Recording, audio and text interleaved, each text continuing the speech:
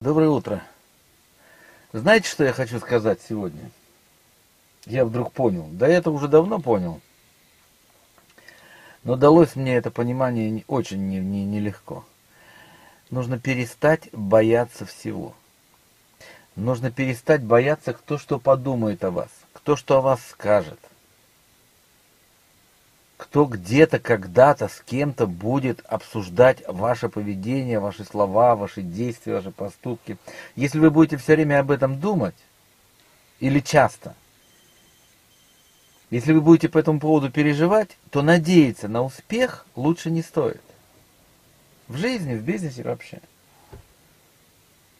Для меня это было страшные проблемы. Я всегда боялся, переживал.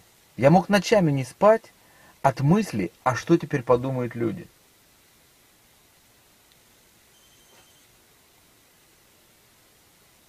Это был мой бич. А как я выглядел? А как я смотрелся? А было ли это достойно? А было ли это достаточно красиво? А было ли это ну, короче говоря, я переживал. У меня были даже такие периоды, когда закомплексованность, страх перед критикой, перед мнением других, это колоссальная проблема. У меня, например, были такие, такие когда я был молодым лейтенантом, лейтенантом, я сейчас вспоминаю, это же просто откуда? Это из детства, я не знаю, откуда это. Я, э, будучи молодым лейтенантом, стеснялся ходить в ресторан, если я был один, например. Ну, все офицеры ходят в ресторан, знакомятся там, то все.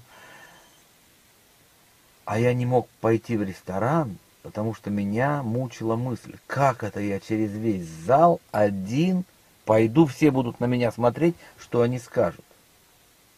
Это бред. А я знаю, что очень многие переживают по этому поводу.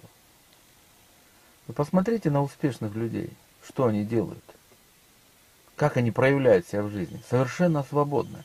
Более того, они еще стараются эпатировать публику, чтобы привлечь себе еще больше внимания. Будьте раскованными, будьте свободными, не беспокойтесь, кто что говорит, кто что думает о вас.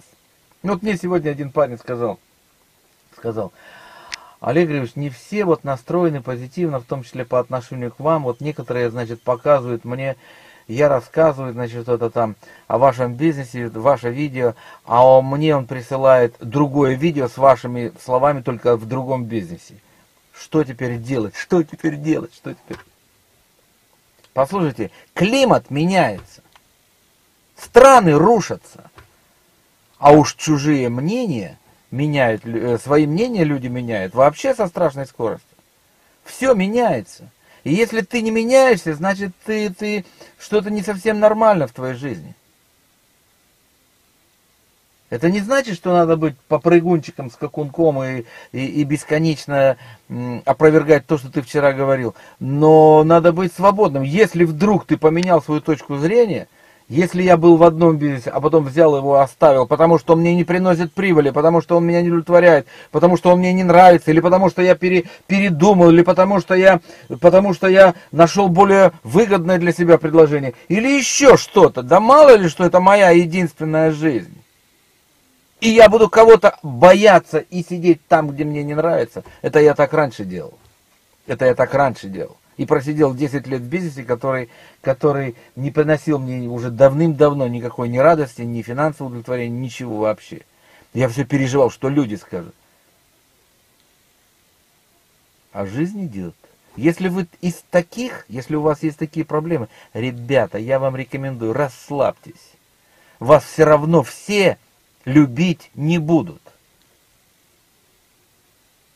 Если бы вы только знали, если бы мы все только знали, кто что про нас говорит, мы бы еще больше переживали.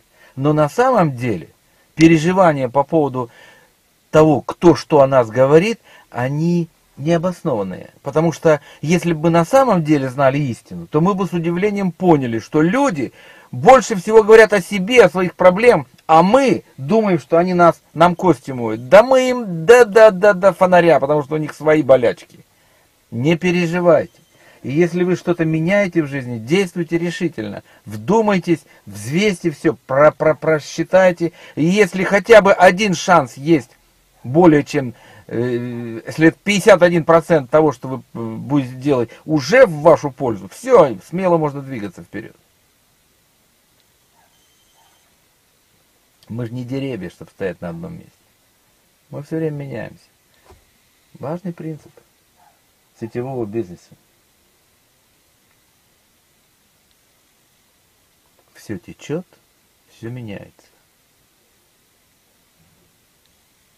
Тот, кто этой тенденции не понимает, ей не следует в разумных рамках, тот неизбежно отстает. А я желаю вам удачи, богатейте. Всего доброго.